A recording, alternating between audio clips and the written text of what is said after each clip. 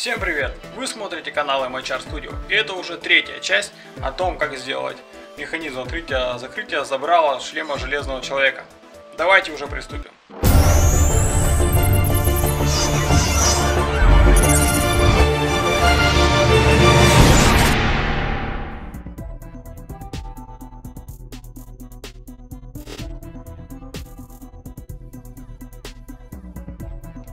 Использовать я буду Arduino Uno. Если кто у меня в группе есть, то наверняка видели, что пришла еще Arduino Nano, на которой потом, собственно, и будет работать шлем. А на Uno я тренируюсь. На Nano надо будет еще поднять ножки. Как видно на видео, Arduino Nano очень маленькая, и она в самый раз поместится в шлем Железного Человека. По планам у меня стоит доделать вот этот вот шлем Железного Человека, это Mark 33.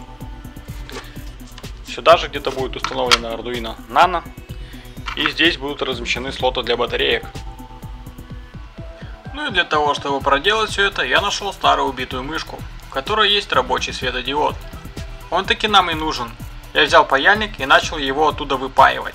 И вот диод выпаян. Теперь нужно к плюсу припаять провод. Благо проводов у меня хоть жуй одним местом, в сфере интернета ведь работает. Я взял витуху, разодрал оплетку и откусил два провода, это бело-оранжевый и оранжевый. Плюсы светодиода это анод. Фокус у меня тут не хочет фокусироваться, поэтому я вам покажу иллюстрацию, чтобы вы не перепутали, куда паять проводулю. А минус у диода это катод.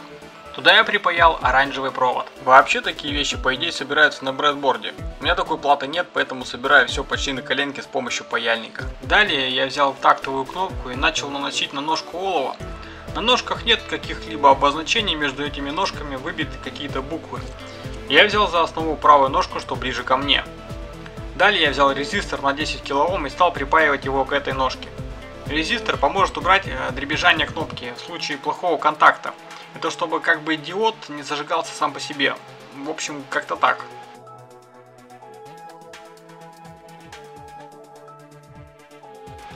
Далее я припаял коричневый проводок к противоположной ножке диода и вставил в пин GND на Arduino.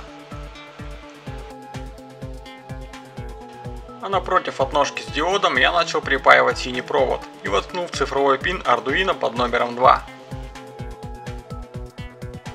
После этого я вернулся к диоду с припаянными к нему проводками и начал припаивать резистор на 220 Ом к бело-оранжевому проводу. Этот резистор выступает в роли защиты, то есть, если кнопка не нажата, он будет фиксировать отсутствие напряжения, чтобы не было хаотичных срабатываний, типа шумов вокруг провода, которые производят электромагнитные волны. После этого надо припаять оранжевый провод к коричневому проводу с припаянным к нему резистором на 10 кОм. Далее надо резистор от бело-оранжевого провода воткнуть прямиком в цифровой пин под номером 8. И теперь у нас завершающий этап. Сейчас надо красный проводок прицепить вот к этой ножке на кнопке слева от ножки с припаянным резистором и воткнуть это дело в пин с обозначением 5В, то есть 5 вольт. На этом сборка закончена. Теперь же перейдем к написанию программы. Выделяем все это, удаляем. Пишем int от английского integer, то есть целое число. Далее пишем button. А, приравнивается пину под номером 2, куда мы воткнули пин.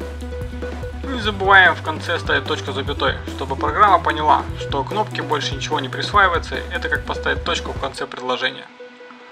Далее обозначаем, какой порт установлен светодиод и пишем int led, так обозначается светодиод, и пишем в случае порт 8. Точка запятой, помним об этом. Теперь нам нужно установить функцию, где будут происходить некоторые действия, и пишем void setup и открываем фигурные скобки. И между этими скобками обозначаем режим пинов. И это светодиод и кнопка. Светодиод стоит у нас на выходе. Херня как-то пишем.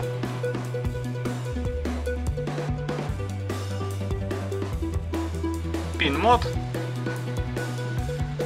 Скобки открываем. И внутри скобок пишем LED, запятая output, то есть выход. Вообще режим pin мод устанавливает режим работы пинов входа и выхода. Я обозначил кнопку также режимом pin мод. Открываем скобочки. пишем кнопку button, запятая и ей назначаем выход, точнее вход, input. А теперь нам нужно здесь задать цикл, где если кнопка нажата, то зажигаем светодиод. В противном случае диод гаснет. Пишем void loop, скобки и назначаем фигурные скобки здесь. В фигурных скобках мы пишем if, if это если, открываем скобочки, digital read, обозначаем кнопку button, приравниваем ей значение высокое height, то есть нажат. Вообще Digital Read это функция, которая считывает значение заданного входа. Это high или low. Продолжаем. Открываем фигурные скобки и пишем Digital Write. И в скобках э, пишем LED. И также обозначаем high, то бишь светодиод загорится. Digital Write это функция, которая подает значение на цифровой вход, то есть пины. У нас это обозначает 8. Значит при передаче сигнала с кнопки диод должен загореться.